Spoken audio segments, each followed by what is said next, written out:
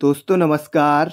मेरा नाम है शेखर और स्वागत है आप सभी का हमारे YouTube channel Shikhar study point पर। दोस्तों, इस वीडियो में हम बात करने वाले हैं पिछहत्तर महत्वपूर्ण प्रश्नों पर। दोस्तों, ये प्रश्न सभी के सभी एग्ज़ाम में पूछे जा चुके हैं तो आप वीडियो को अंत तक ज़रूर देखिएगा और इसकी पीडीएफ दोस्तों आपको हमारे टेलीग्राम चैनल पर मिल जाएगी। तो चलिए दोस्तों, शुरू करते हैं। दोस्तों, इसमें हम देखने वाले हैं हिंदी के महत्वपूर्ण प्रश्नों को। दोस्तों, हिंदी कम मेहनत में यहाँ अच्छे नंबर आते हैं। अगर आपने अभी तक दोस्तों जो भी सब कुछ पढ़ा हुआ है तो प्रैक्टिस के लिए दोस्तों काफ़ी अच्छा है।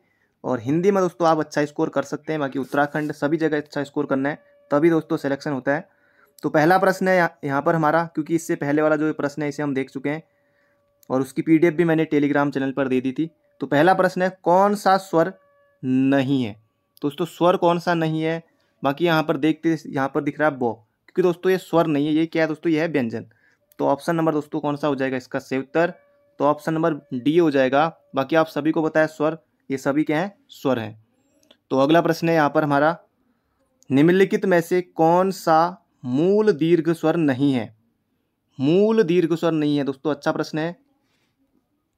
तो यहाँ पर दोस्तों मूल दीर्घ स्वर नहीं है। बाकी यहाँ पर ये ऑप्शन दे रखे हैं। तो इसका संयुक्त हो जाए दोस्तों ओ ओ क्यों नहीं है? ओ दोस्तों संयुक्त स्वर है। तो दीर्घ स्वर दोस्तों कौन कौन से होते हैं, इन्हें सब जानते हैं यहाँ पर। ये वीडियो में दोस्तों आया हुआ एग्ज़ाम में तो यहाँ भी आ सकता है। बाकी दोस्तों, स्वरों की संख्या कितनी होती है, ये वर्णमाला में तो ये आप भली बात ही जानते कितनी होती है, ग्यारह। ये भी आता है एग्ज़ाम में, ग्यारह, तेरह अलग अलग ऑप्शन वहाँ पर रहते हैं। और स्वतंत्र रूप से उच्चरित वर्ण स्वर कहलाते हैं, ये भी आ सकता है। हस्सु स्वर दोस्तों कौन कौन से हैं, इन्हें ज़रूर से याद रखिएगा ओ ई ऊ और री। दोस्तों, ज़्यादा आपको पीडीएफ मिल जाएगी, आप इसे पढ़ लीजिएगा, क्योंकि फिर वीडियो और भी लंबी हो जाती है। बाकी दीर्घ स्वर कौन कौन से हैं? आ, ई ऊ ये सब दोस्तों दीर्घ स्वर हैं, ये यहाँ पर दिए हुए हैं। बाकी संयुक्त स्वर भी दोस्तों यहाँ पर दिए हुए हैं। जैसे ये आई है, ये किसके मेल से बनता है? या ओ है, ये किसके मेल से बनता है? इन्हें भी ज़रूर से याद रखिएगा तो ये पीडीएफ में आपको मिल जाएगा तो इन्हें आप ज़रूर से देख लीजिएगा। बढ़ते हैं अगले प्रश्न की तरफ़। अगला प्रश्न है, दीर्घ स्वर है। अब आप समझ ही गए होंगे, दीर्घ स्वर कौन होगा इसमें से? तो ऑप्शन नंबर बी होगा, ये जो बड़ी है, ये हो जाएगा। ऊ भी हो जाएगा, ये सब हमारे दीर्घ स्वर है। अगला प्रश्न है, दीर्घ स्वर कौन सा है? तो दीर्घ स्वर दोस्तों, ये हो जाएगा आ। आ हो जाएगा हस्सु स्वर ओ ई उ, री। हस्सु स्वर होते हैं। अगला प्रश्न है, यहाँ पर हमारा, निम्नलिखित में से कौन सा संयुक्त स्वर है? संयुक्त स्वर। दोस्तों, संयुक्त स्वर ए आई ओ औ। ये हमारे चारों जो हैं, संयुक्त स्वर है तो ऑप्शन नंबर डी हो जाएगा इसका, बिल्कुल। संयुक्त अब कैसे बनते हैं, ये यहाँ पर दोस्तों ये दिया हुआ है। जैसे ए है, ये अ धन ई के मेल से बनेगा आई है तो अ धन ए के मेल से ओ है तो अ धन ऊ के मेल से। तो इन्हें भी ज़रूर से आपको याद रखना है, क्योंकि ये भी किसके मेल से बनता है, एग्ज़ाम में आ जाएगा। तो बाकी आप पीडीएफ में देख लीजिएगा, बढ़ते हैं अगले प्रश्न की तरफ़। अगला प्रश्न है, मात्रा के आधार पर स्वर कितने होते हैं? तो दोस्तों कितने होते हैं? तो ये हो जाएगा तीन। कौन कौन से? हस्तु स्वर, दीर्घ स्वर और पुलुत स्वर। बाकी हस्सु स्वर हमने देख ही लिया है, दीर्घ स्वर हमने देख ही लिया है। पुलुत स्वर दोस्तों कौन से होते हैं? जैसे ओम हो गया, ये होते हैं हमारे पुलुत स्वर। अगला प्रश्न है यहाँ पर हमारा। ये पुलुत स्वर दिया हुआ है, जैसे ओम है, तीन मात्राओं का समय जिनमें लगता है। तो अगला प्रश्न है यहाँ पर हमारा वर्ण तालिका के अनुसार हस्सु, दीर्घ और पुलुत क्या है? दोस्तों ये क्या है? स्वर है। अब आपको बिल्कुल रट गया होगा। अगला प्रश्न है, स्वर ध्वनि के प्रकार हैं। स्वर ध्वनि दोस्तों हस्तु स्वर होता है, दीर्घ स्वर होता है, पुलुत स्वर होता है तो इसका संयुक्त हो जाएगा तीनों। अब आपको कौन कौन से होते हैं, ये भी बिल्कुल रट गया होगा। अगला प्रश्न है जिहवा के आधार पर स्वर कितने प्रकार के होते हैं? दोस्तों अच्छा प्रश्न है। यहाँ अगर यहाँ से प्रश्न बनता है एग्ज़ाम में तो बहुत से अभ्यर्थी गलत करेंगे। तो जीवा के आधार पर स्वर कितने होते हैं दोस्तों? तीन होते हैं। कौन कौन से? अग्र स्वर पश्च स्वर और मध्य स्वर। अब दोस्तों, बहुत से जो वहाँ एग्ज़ाम देंगे, उनमें से दोस्तों बहुतों को याद नहीं होगा कि कौन कौन से अग्रस्वर होते हैं मध्य स्वर होते हैं पश्च स्वर होते हैं। अगर यहाँ से प्रश्न बनता है तो इन्हें ज़रूर से याद रखिएगा। अग्र स्वर में ई ई, ए, आई, इन्हें ज़रूर से आपको याद रखना है। और मध्य स्वर में दोस्तों कौन कौन से? ओ सिर्फ़ ओ मध्य स्वर में याद रखना है। पश्च स्वर में, बाकी अगर आपने अग्र स्वर और मध्य स्वर याद रख लिया तो पश्च स्वर फिर जो बचे, वो सारे पक्ष स्वर पश्च स्वर हो गए। तो इन्हें आप ज़रूर से देख लीजिएगा। तो ये आपको ज़रूर से याद रखना है। अगला प्रश्न है यहाँ पर हमारा अर्ध विवृत स्वर है। ये अच्छा प्रश्न है। अर्ध विवृत स्वर है। तो हो जाएगा दोस्तों आई। तो ऑप्शन नंबर बी होगा हमारा। बिल्कुल सही उत्तर। तो ये हमारा कैसा स्वर है? तो अर्ध विवृत स्वर है। अगला प्रश्न है, विवृत कौन सा है? जैसे यहाँ पर मुख द्वार के खुलने के आधार पर स्वर चार प्रकार के होते हैं। तो विवृत स्वर कौन सा है दोस्तों? ये हो जाएगा आ है। ये बन सकता है एग्ज़ाम में। अर्ध विवृत कौन से हैं? ए, आई, आ, ओ, इन्हें ज़रूर से याद रखेगा अर्ध संवृत ए, ओ, इन्हें ज़रूर से याद रखेगा संवृत दोस्तों कौन कौन से हैं? ई ई, उ और उ। तो ये हो जाएँगे दोस्तों हमारे कौन से? संवृत स्वर। तो ये अर्धविवृत स्वर कौन सा है? तो ये हो जाएगा ऐ तो अगला प्रश्न है यहाँ पर हमारा, जिनकी ध्वनि केवल मुख से निकलती है, वे हैं। तो वे हैं दोस्तों, मुख से निकलती है, उन्हें कहते हैं निन्नुनासिक स्वर। तो ऑप्शन नंबर डी। दोस्तों, वीडियो को अंत तक ज़रूर देखिएगा और अभी तक आपने वीडियो को लाइक नहीं किया तो एक लाइक आपको ज़रूर से करना है। काफ़ी ज़्यादा महत्वपूर्ण प्रश्न है, यूपीएसआई जैसे एग्ज़ाम में प्रश्न पूछे जा चुके हैं। तो यहाँ पर अगला प्रश्न है दोस्तों, संज्ञा से प्रश्न है। जातिवाचक संज्ञा, सर्वनाम, विशेषण, क्रिया, अव्यय शब्दों से बनाए जा सकते हैं। उनसे दोस्तों ना ही वचन बनाए जा सकते, ना ही कारक, ना ही पुल्लिंग शब्द इनसे बनाए जा सकते हैं। दोस्तों कौन सा? भाववाचक संज्ञा। तो ऑप्शन नंबर ए होगा इसका, बिल्कुल सटीक उत्तर। अगला प्रश्न है, यहाँ पर इसको भरना है।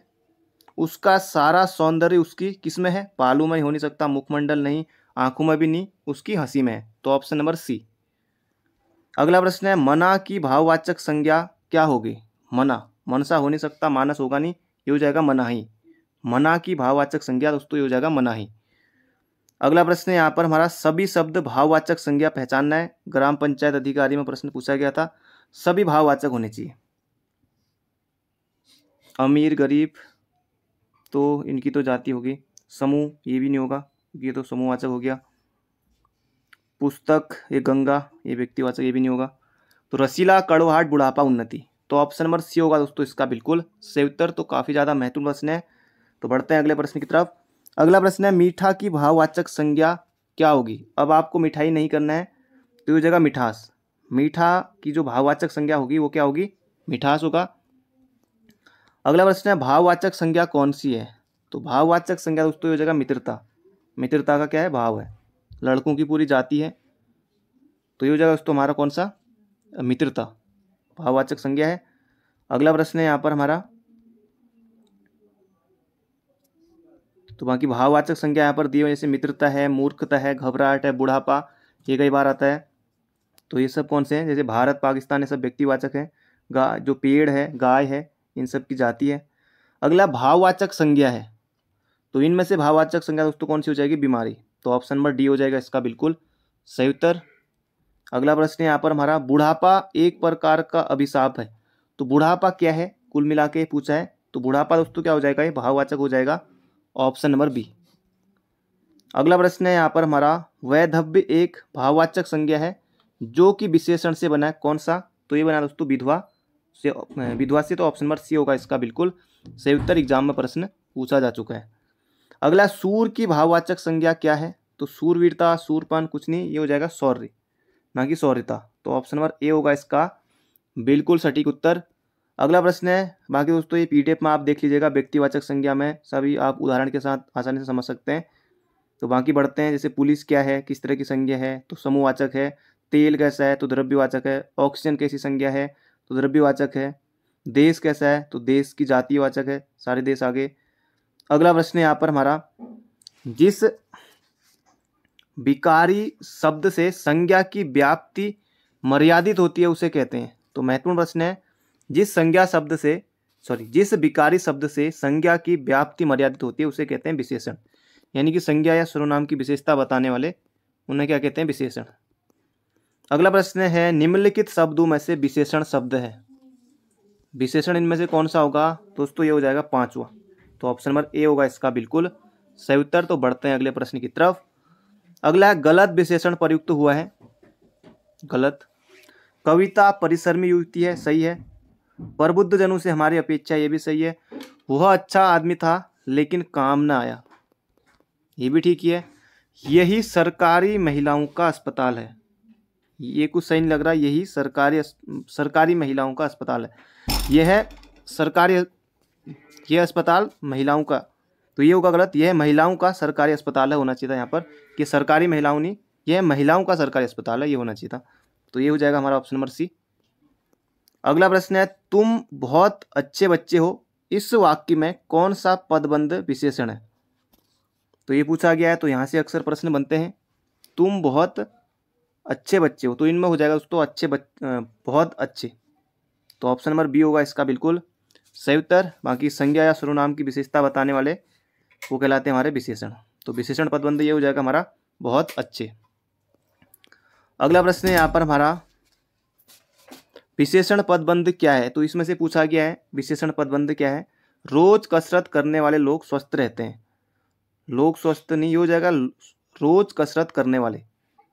रोज कसरत करने वाले स्वस्थ रहते हैं यही हो जाएगा हमारा विशेषण पदबंध क्योंकि विशेषता बता रहा है। अगला प्रश्न है, धर्म से बनने वाला विशेषण क्या होगा? तो अधर्म हो नहीं सकता, धर्मी, धर्म, धीर, कुछ नहीं, ये हो जाएगा धार्मिक। तो बिल्कुल आसान प्रश्न था। अगर आपको नहीं भी आता है, तब भी आप आसानी से इसे ठीक कर सकते हैं। अगला प्रश्न यहाँ पर हमारा, सात बजे आने वाली गाड़ी आज एक बजे आएगी। सात बजे आने वाली गाड़ी आज एक बजे आएगी। तो देख लेते हैं, यहाँ पर होगा। तो इसमें भी दोस्तों विशेषण बताना था, विशेषण पदबंध क्या है? तो बाकी ऑप्शन ये है, जैसे सात बजे, एक बजे एक बजे जाएगी या फिर सात बजे आने वाली तो इसका सेव उत्तर हो जाएगा हमारा सात बजे आने वाली तो ऑप्शन नंबर बी अगला प्रश्न है, कौन सा शब्द विशेषण है? ये हो जाएगा चमकीला। चमकीला क्या है हमारा? विशेषण शब्द है, उसकी विशेषता कि कैसा है वो? चमकीला है। अगला प्रश्न है, विशेषण शब्द है। बुढ़ापा, अभी हमने देखा था, बुढ़ापा क्या है दोस्तों? भाववाचक संज्ञा है। तो अगला प्रश्न जो इसमें सभी उत्तर हो जाएगा, ये हो जाएगा शांत। ऑप्शन नंबर डी, बाकी जैसे दौड़ है, क्रोध है, ये सब भाववाचक संज्ञा है तो हो जाएगा हमारा ऑप्शन नंबर डी, शांत। अगला प्रश्न यहाँ पर हमारा कौन सा शब्द विशेषण है? अगर दोस्तों, एग्ज़ाम में आता है, शासन, अनुशंसा, अनुशासन, अनुशासित तो बहुत से अभ्यर्थी वहाँ पर गलत करेंगे। तो इसका सही उत्तर हो जाए, दोस्तों, अनुशासित जो है, ये है हमारा विशेषण। तो ये आपको बिल्कुल याद रखना है। और बाकी जैसे अनुशासन है तो ये संज्ञा है। तो अनुशासित जो है, ये हमारा विशेषण है। अगला प्रश्न है, जैसा काम वैसा दाम में, जैसा किस व्याकरणात्मक कोटि का ये जो जैसा है, ये क्या है? दोस्तों, ये है विशेषण। विशेषण है, बाकी सर्वनाम हो नहीं सकता कतई अव्यय है नहीं तो ये हो जाएगा हमारा विशेषण है ऑप्शन नंबर ए तो अगला प्रश्न यहाँ पर हमारा अभ्यास का विशेषण रूप होगा। तो यहाँ पर भी गलती करेंगे एग्ज़ाम में बहुत से अभ्यर्थी अगर आता है तो इसका सेव तो अभ्यासी। ऑप्शन नंबर बी, अभ्यास का विशेषण क्या होगा? अभ्यासी होगा। अगला, निशा का विशेषण रूप है। निशित, नैस निशाचर या निशांत। तो हो जाएगा हमारा ऑप्शन नंबर डी, नैस। तो ऑप्शन नंबर डी हो जाएगा इसका नैस होगा, बिल्कुल सही उत्तर। अगला प्रश्न है। अब दोस्तों, यहाँ से क्रिया से प्रश्न आ गए हैं। बाकी वीडियो को अंत तक ज़रूर देखिएगा। और अभी तक आपने लाइक नहीं किया तो एक लाइक आपको ज़रूर से करना है। बाकी पीडीएफ दोस्तों, टेलीग्राम चैनल पर मिल जाएगी। डिस्क्रिप्शन में लिंक है। लगभग दस हज़ार अभ्यर्थी टेलीग्राम चैनल पर जुड़े हुए हैं। तो अगला प्रश्न है यहाँ पर हमारा, यदि दौड़ना अकर्मक क्रिया है तो इसकी प्रेरणार्थक क्रिया क्या होगी? तो ये हो जाएगी दौड़वाना। ऑप्शन नंबर ए, दौड़ना किस तरह की क्रिया है? ये भी एग्ज़ाम में बनता है तो अकर्मक क्रिया है। तो प्रश्न से ही यहाँ पर दिया हुआ है, दौड़ना एक अकर्मक क्रिया है तो बाकी दोस्तों यहाँ पर आना, लाना, वाना, जोड़ने से प्रेरणार्थक क्रिया बनती है। तो यहाँ पर दिया हुआ है, इसे उठना से प्रेरणार्थक क्रिया क्या बनेगी? उठवाना, सोना से सुलवाना पीना से, पिलवाना, बाकी दौड़ना से, जो प्रश्न में आई था, दौड़वाना। अगला प्रश्न है, यदि ओढ़ना अकर्मक क्रिया है तो इसकी प्रथम प्रियार्थक प्रेरणार्थक क्रिया क्या होगी? ओढ़ना तो ये हो जाएगा उड़ाना। ऑप्शन नंबर बी होगा इसका बिल्कुल सही उत्तर। अगला प्रश्न है अकर्मक क्रिया है ओढ़ना और प्रथम प्रेरणार्थक हो जाएगा उड़ाना, द्वितीय प्रेरणार्थक हो जाएगा उड़वाना। अगला प्रश्न है प्रेरणार्थक क्रिया है तो ये हो जाएगा जगाना। जगाना। तो ऑप्शन नंबर बी होगा इसका सही उत्तर। अगला प्रश्न है निम्न में से प्रेरणार्थक क्रिया है तो ये हो जाएगा गिराना। तो ऑप्शन नंबर सी होगा इसका बिल्कुल सही उत्तर। गिराना जो है, ये हमारी कैसी क्रिया है तो प्रेरणार्थक क्रिया है। अगला प्रश्न है, राम लक्ष्मण से पत्र लिखवाता है। राम लक्ष्मण से पत्र लिखवाता है, इस वाक्य में क्रिया का कौन सा रूप है? तो हो जाएगा प्रेरणार्थक क्रिया है, ऑप्शन नंबर बी, क्योंकि उससे लिखवा रहा है। अगला प्रश्न है यहाँ पर हमारा। जागना मूल क्रिया का, जागना मूल क्रिया का प्रथम प्रेरणार्थक रूप क्या है? तो ये हो जाएगा दोस्तों जगाना। जगाना हो जाएगा इसका बिल्कुल सही उत्तर। अब प्रेरणार्थक क्रिया में क्या होता है? तो परिभाषा भी यहाँ पर दी हुई है।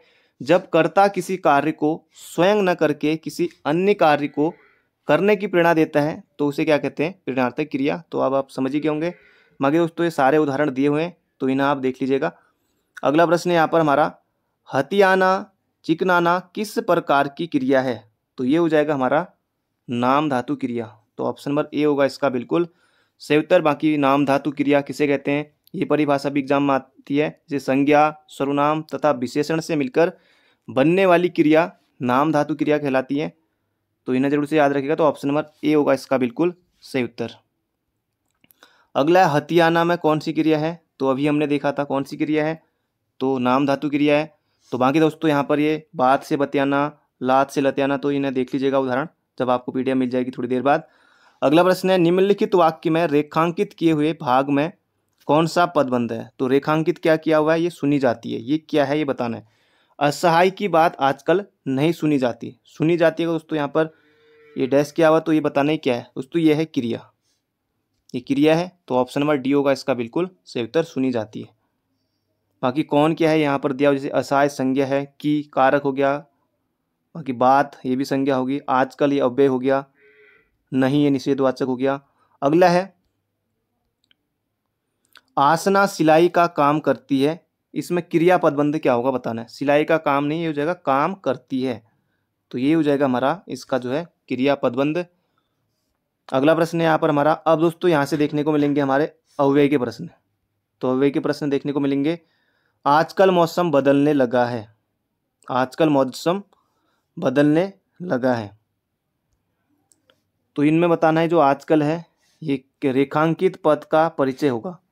तो आजकल दोस्तों ये हो जाएगा कालवाचक क्रिया विशेषण बदलने लगा है, ये हो जाएगा क्रिया विशेषण दोस्तों कुछ अलग अगर माना ये, अगर आप पहली बार एग्ज़ाम दे रहे हैं, अगर इस प्रश्न को देखते हैं तो थोड़ा अजीब जैसा ज़रूर लग सकता है अगर आप पढ़ के नहीं गए। तो क्योंकि ये भी एग्ज़ाम में प्रश्न पूछा जा चुका है दो हज़ार सोलह में तो ऑप्शन नंबर सी होगा इसका बिल्कुल सही उत्तर। अगला प्रश्न है, वहाँ मत जाइए। रेखांकित पद का परिचय होगा। ये हो जाएगा दोस्तों निषेधवाचक अव्यय। तो ऑप्शन नंबर ए होगा इसका बिल्कुल सही उत्तर। अगला प्रश्न है, यहाँ पर हमारा निम्न में अव्यय है। तो अव्यय हो जाएगा दोस्तों आ। ऑप्शन नंबर सी हो जाएगा इसका अव्यय। जैसे हाय, वाह, शाबाश हाँ किंतु, परंतु, ये सब हमारे अव्यय हैं। बाकी अव्यय की परिभाषा भी एग्ज़ाम में आती है। ऐसे शब्द जिनमें लिंग, वचन, पुरुष, कारक आदि के कारण कोई विकार नहीं होता, उन्हें कहते हैं क्या? अव्यय। तो ये प्रश्न भी एग्ज़ाम में आता है। अगला अविकारी शब्द क्या होता है? तो ये हो जाएगा हमारा अव्यय। बाकी संज्ञा, सर्वनाम, विशेषण, क्रिया, ये सब विकारी होते हैं। अगला प्रश्न है यहाँ पर हमारा। निम्नलिखित में से अव्यय है। तो अव्यय दोस्तों, ये हो जाएगा हमारा तथा। ये हो जाएगा अव्यय। बाकी ये सुंदर, नया सब विशेषण अगला प्रश्न यहाँ पर हमारा। हमें प्रतिदिन सूर्य नमस्कार करना चाहिए, रेखांकित शब्द को पहचानिए। तो रेखांकित शब्द हमारा कौन सा है? तो प्रतिदिन है। सर्वनाम हो नहीं सकता है। सर्वनाम क्या होगा? ये जो हमें है, ये होगा सर्वनाम तो प्रतिदिन में दोस्तों प्रति उपसर्ग ज़रूर लगा है, लेकिन उपसर्ग नहीं करना है। तो ये जाएगा दोस्तों अव्यय हमारा ऑप्शन नंबर बी खैर, यहाँ पर तो सॉल्यूशन पूरा दिया हुआ है, लेकिन वहाँ पर आपके सामने चार ही ऑप्शन होंगे। अगला प्रश्न है अव्यय है इनमें। तो अव्यय हो जाएगा दोस्तों, और तो ऑप्शन नंबर डी होगा इसका, बिल्कुल। सही उत्तर, बाकी ये और, कभी, अभी जब भी धीरे धीरे ये सभी हमारे कौन से हैं? अव्यय हैं। अगला है, वह हमेशा अपने भाई के गीत गाता रहता है, वाक्य में अव्यय पद है। अव्यय हो जाएगा हमारा हमेशा। वह, ये हो जाएगा सर्वनाम तो हो जाएगा दोस्तों हमारा हमेशा। अगला प्रश्न है, वह काम नहीं करता है। वाक्य में अव्यय पद है तो हो जाएगा नहीं। अगला प्रश्न यहाँ पर हमारा, और आपको बताना है कि जो ये वह है, ये किस प्रकार का सर्वनाम है, ये आप कमेंट बॉक्स में बताइएगा, ये वह जो है किस प्रकार का सर्वनाम है। सर्वनाम के कितने भेद होते हैं? ये भी आपको कमेंट बॉक्स में बताना है। अगला प्रश्न है, निम्नलिखित में से अव्यय शब्द है तो अव्यय हो जाएगा दोस्तों यहाँ पर हमारा और तो अभी आप समझ ही गए होंगे। बाकी इन्हें ज़रूर याद रख लीजिएगा ये कौन कौन से करके, जैसे कहाँ और अभी। तो बीच में पहचानने के लिए भी आ सकता है कुछ भी, या पूरी लाइन दे दी इनमें से पहचानो, कैसे भी प्रश्न आ सकता है। तो अब दोस्तों हम यहाँ से देखेंगे लिंग, वचन, काल, वाच्य वाले प्रश्नों को। और आपने देखा होगा कि अभी हाल ही में लगातार दोस्तों जो भी एग्ज़ाम हुए हैं, या एक दो साल पहले भी जो एग्ज़ाम हुए तो उनमें भी दोस्तों लिंग से ज़रूर प्रश्न आए हैं। तो इनमें से दोस्तों विदुर का स्त्रीलिंग पूछा गया है। विदुर का स्त्रीलिंग तो ये जाएगा हमारा विधवा ऑप्शन नंबर सी तो ये भी एग्ज़ाम में आया हुआ है। अगला प्रश्न है, पुल्लिंग इनमें से पहचानना है। इनमें से दोस्तों पुल्लिंग कौन सा होगा? तो ये आपको पहचानना है। हवा, कोयल, शिक्षा, ये दोस्तों स्त्रीलिंग है। बाकी दारा ये हो जाएगा दोस्तों हमारा ऑप्शन नंबर सी ये हो जाएगा हमारा पुल्लिंग। लिंग संस्कृत भाषा का शब्द है, लिंग का शाब्दिक अर्थ स्त्री पुरुष, बाकी पूरा दिया हुआ देख लीजिएगा। तो बढ़ते हैं अगले प्रश्न की तरफ़। बाकी दोस्तों एग्ज़ाम में पूछा गया था, बाकी सॉल्यूशन भी यहाँ पर दिया हुआ है। पीजीटी में प्रश्न आया हुआ था, पुल्लिंग शब्द इनमें से पहचानना है? तो दया, वायु, प्रार्थना, स्त्रीलिंग है, बाकी नेत्र हो जाएगा ये हमारा पुल्लिंग शब्द। अगला प्रश्न यहाँ पर हमारा पुल्लिंग शब्द इनमें से पहचानना है। तो घटना दोस्तों क्या है? स्त्रीलिंग है, रीति, ये भी स्त्रीलिंग है, क्षमा, ये भी स्त्रीलिंग है। तो पुल्लिंग हो जाएगा हमारा कौन सा? क्षेत्र। तो ऑप्शन नंबर सी हो जाएगा हमारा इसका सही उत्तर। अगला प्रश्न है, पुल्लिंग इनमें से छांटना है? तो चाहत, मेहनत, रंगत, स्त्रीलिंग है तो आहार हो जाएगा पुल्लिंग। अगला प्रश्न है, पुल्लिंग वाचक शब्द छांटिए। तो पायल, तलवार और प्लेट, ये सभी कैसे हैं? स्त्रीलिंग है और कैमरा हो जाएगा हमारा पुल्लिंग शब्द। अगला प्रश्न है यहाँ पर हमारा। पुल्लिंग शब्द इनमें से दोस्तों पहचानना है। पुल्लिंग। माया, दया, भाषा। दोस्तों स्त्रीलिंग है आभार हो जाएगा इसका पुल्लिंग ऑप्शन नंबर डी। तो इसका सही उत्तर दोस्तों आभारी है यहाँ पर। ये आभारी। अगला प्रश्न है यहाँ पर हमारा। इनमें से पुल्लिंग छाटना है। सेना स्त्रीलिंग है। आशा इस भी स्त्रीलिंग है। क्षमा ये भी स्त्रीलिंग है। ये हो जाएगा हमारा कष्ट जो है ये पुल्लिंग शब्द है। वीडियो के एग्ज़ाम में आ चुका प्रश्न। अगला प्रश्न है पुल्लिंग शब्द है। तो दोस्तों, दही, लिंग की दृष्टि से दही क्या है? तो पुल्लिंग है, एग्ज़ाम में प्रश्न पूछा जा चुका है तो ऑप्शन डी बाकी सिकंजी चाय, लस्सी सभी क्या है? स्त्रीलिंग है। दही पुल्लिंग है। दही खट्टा होता है, खट्टी होती है तो दही खट्टा होता है। अगला प्रश्न है, इनमें से कौन सा शब्द पुल्लिंग नहीं है? तो स्त्रीलिंग होगा। तो बनावट कैसी है? तो अच्छी है। तो ये हो जाएगा अच्छा अच्छी विशेषण लगाकर। तो बनावट अच्छी हो जाएगा हमारा स्त्रीलिंग। बाकी सभी पुल्लिंग शब्द है। अगला प्रश्न है, इनमें से पुल्लिंग पहचानना है, बाकी लगन है, कुछ करने की उसमें आहट हो रही है, मीमांसा ये सब दोस्तों कौन से कैसे शब्द है? स्त्रीलिंग है तो माधुरी कैसा शब्द है, हो जाएगा पुल्लिंग, हमारा ऑप्शन नंबर डी अगला प्रश्न है, निम्नलिखित इकारांत शब्दों में एक पुल्लिंग है, उसे चयनित कीजिए। तो ये हो जाएगा हमारा पानी पानी कैसा है, पुल्लिंग शब्द है, बाकी नदी, बकरी, रोटी, ये सब स्त्रीलिंग है। बाकी ये तेल, घी, तेल, सभी यहाँ पर दिया हुआ है कौन कौन से शब्द हैं? अगला प्रश्न है, इनमें से पुल्लिंग शब्द कौन सा है? तो बुढ़ापा आ गया दोस्तों, बुढ़ापा आ गया कहते हैं तो ये जगह पुल्लिंग बाकी जैसे दुर्घटना कैसा शब्द है, स्त्रीलिंग है, निर्धनता कैसा है, स्त्रीलिंग है तो ये सब भी याद रखिएगा। अगला प्रश्न यहाँ पर हमारा, दोस्तों, अब हम इसमें देखेंगे कारक से महत्वपूर्ण प्रश्नों को।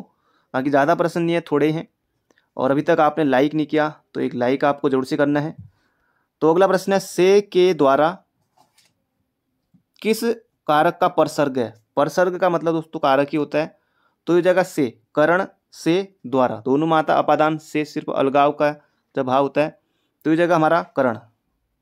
बाकी यहाँ पर कर्ता ने, कर्म को ये सब पूरा दिया हुआ है तो ये भी पहचानने के लिए आता है तो इन्हें भी ज़रूर से याद रखिएगा। कर्ता ने कर्म को, करण से द्वारा संप्रदान के को लिए, अपादान से संबंध का की का की का रारेरी ये सब अधिकरण में पर, और संबोधन हे हो, अरे अबे, ये सब। अगला प्रश्न है तो ये प्रश्न भी दोस्तों वीडियो में पूछा गया था। वह मुझसे अलग रहता है। रेखांकित शब्द के आधार पर बताइए कि यहाँ कौन सा कारक है। तो मुझसे में बताना है। तो ये हो जाएगा दोस्तों अपादान। या वह मुझसे अलग रहता है या अलग रहती है, जो भी कहें। तो यहाँ पर दोस्तों ये हो जाएगा हमारा अपादान कारक होगा। तो ऑप्शन नंबर बी होगा बिल्कुल। सटीक उत्तर दोस्तों एग्ज़ाम में पूछा गया था। अगला प्रश्न यहाँ पर हमारा। माता पिता अपने बच्चों के लिए, ये जो के लिए है, इसको यहाँ पर रेखांकित किया गया है। कड़ी मेहनत करते हैं। तो पूछा गया कि के लिए क्या होगा? तो ये संप्रदान के को लिए। तो इनमें से बताना संज्ञा होगा, सर्वनाम होगा, परसर्ग का विशेषण होगा। दोस्तों, ये हो जाएगा हमारा परसर्ग। के को लिए, संप्रदान के को लिए। बाकी दोस्तों, ये भी वीडियो में आ चुका है प्रश्न। अगला प्रश्न है यहाँ पर हमारा, अधिकरण कारक का परसर्ग। तो अधिकरण मैं पर। तो ये हो जाएगा हमारा ऑप्शन नंबर ए। अधिकरण मैं पर। बाकी यहाँ पर ये सब दिया हुआ है तो इन्हें ज़रूर से रट लीजिएगा। कौन कौन से क्या है? अगला प्रश्न है यहाँ पर हमारा।